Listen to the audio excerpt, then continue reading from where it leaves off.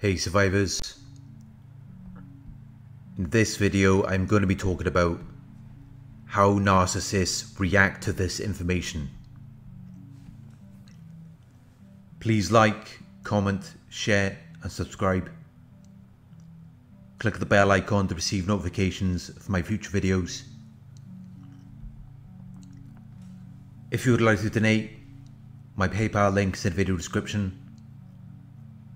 If you are interested in one-on-one coaching, you can email me at narcsurvivorcoaching at gmail.com.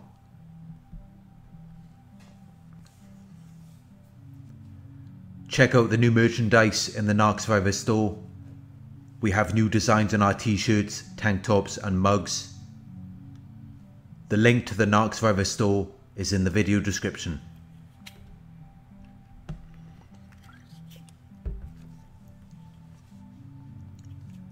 How do narcissists react to this information?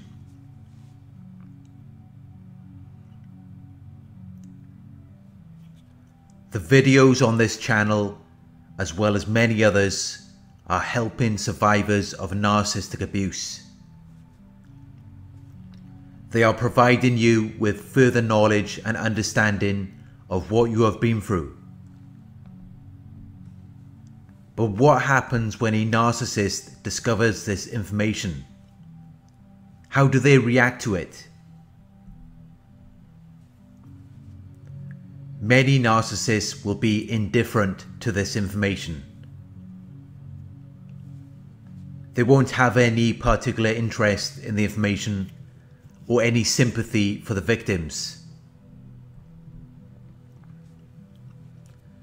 They live in their own world where they believe that they know everything and they are the experts at everything. They may not have any knowledge of human behaviour or have the mental capacity to understand it, but regardless of this, they still believe that they know everything and they are always right. They have an exaggerated sense of their own abilities or importance. These types of narcissists who are indifferent to this information are not going to take the time to understand it. They are going to do anything else in their lives rather than trying to develop an awareness or an understanding of what is going on.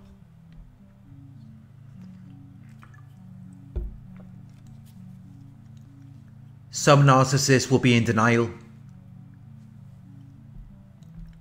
They have limited or no self-awareness, so they cannot see these traits within themselves. They cannot identify that their behavior is inappropriate. Even if they do have some level of self-awareness, they will invent justifications to feel as though they are right in how they feel or act. By doing this, they remain in denial and end up normalizing their behavior.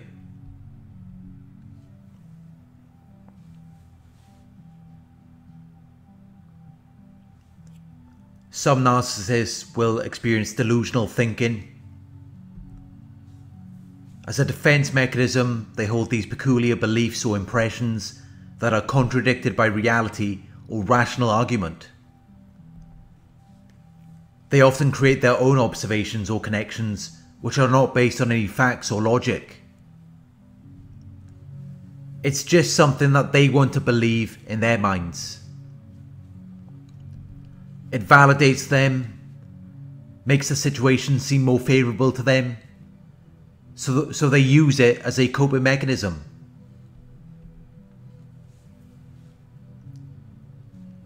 Anyone with a certain level of knowledge or experience in narcissism will quickly identify that their observations or connections are not based on reality.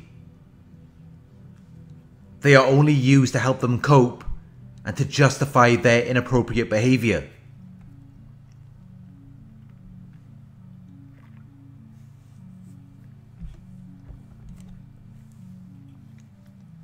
Some narcissists will find this information and then project it on everyone around them, rather than reflecting and seeing these traits within themselves. Although it is likely that they may also have narcissists around them as well.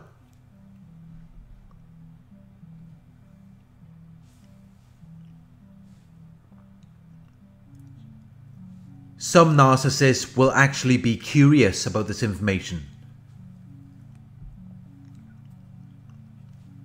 They are not going to use it to help anyone, but instead, they will use it to improve their knowledge and obtain narcissistic supply from being perceived as being intelligent.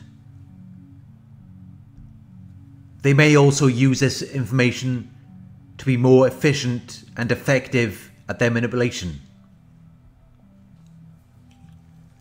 They might identify that we are onto some of the some of the tactics that they use, and then they will make the necessary modifications to remain undetected.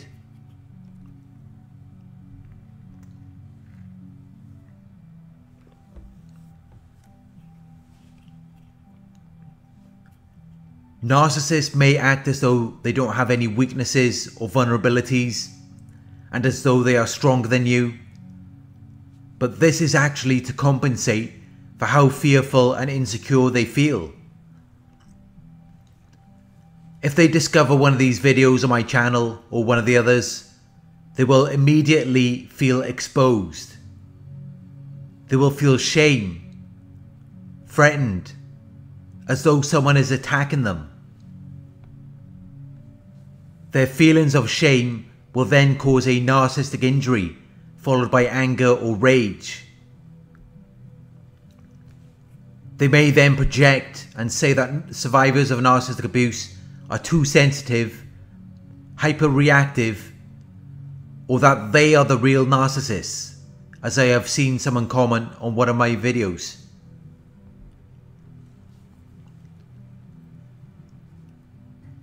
They may recognize survivors of narcissistic abuse being sensitive, or hyperreactive, which is understandable and completely normal because of their association with the trauma.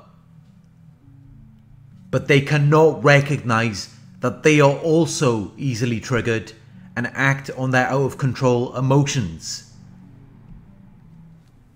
They are just trying to justify their inappropriate behavior, normalize it, and then shift the blame onto the real victims.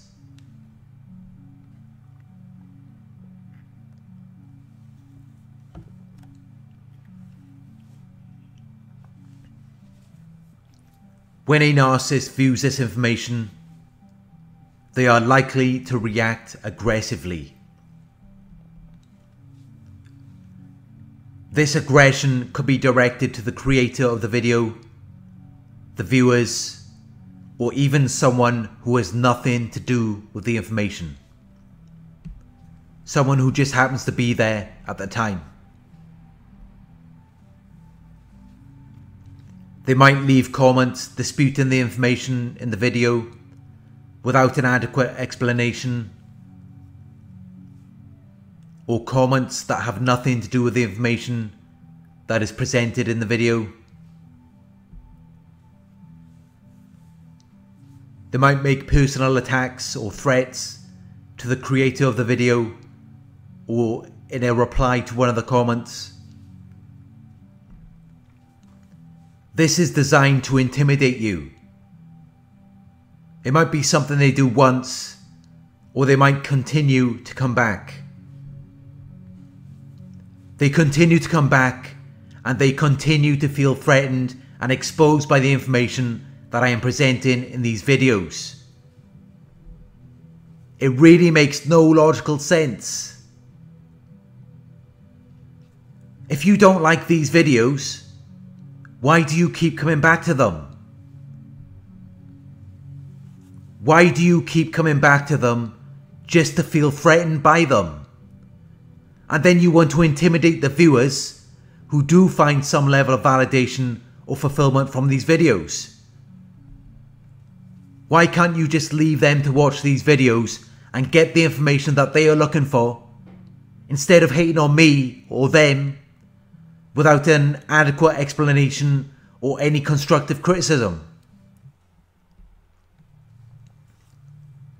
The reason why you keep coming back to these videos, the reason why you keep hating on me or hating on the viewers, really has nothing to do with any of us. You feel threatened by the information I am sharing on this channel, and it has created some level of fear or uncertainty within you.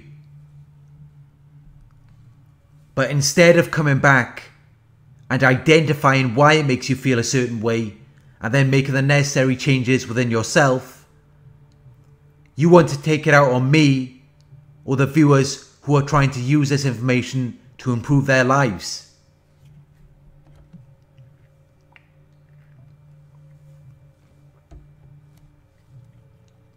These videos are not meant for you. They were not designed to appeal to your interests or benefit you in any way. You keep coming back because they have created a certain feeling within you, which you feel that you cannot regulate or resolve without coming back to the source. But you're not going to regulate or resolve anything by coming on you and attacking people. You're just obsessed with these videos because they're not playing out in the way that you would like. And you feel the need to punish people on you because you feel wronged or disrespected by the information that I am giving out in these videos. You feel as though I am challenging your sense of power and control. If you don't like the, the way a video makes you feel, that's probably a sign that you need to leave it alone.